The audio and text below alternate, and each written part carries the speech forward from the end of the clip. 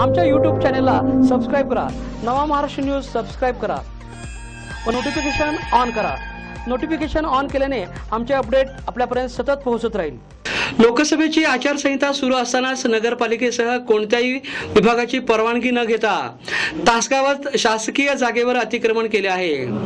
तासगाव शहरातील कापूर ओढ्यावर खासगी प्लॉटच्या विक्रीसाठी काही प्लॉट धारकाने दिवसा ढवळ्या अतिक्रमण करत बेकायदा बांधकाम केले आहे. मात्र या बेकायदा पूल उभारण्याच्या मंडळीवर आचारसंहिता भंगाचा गुन्हा दाखल करून हा बेकायदा पूल उद्ध्वस्त करण्याची गरज आहे. मात्र तासगावात प्रशासन कारवाईसाठी चालढकल करत असल्याचे प्लॉट धारकांनी रस्त्याचे संपूर्ण काम उरकून घेतले आहे. नवा महाराष्ट्र न्यूजसाठी तासगाव प्रतिनिधी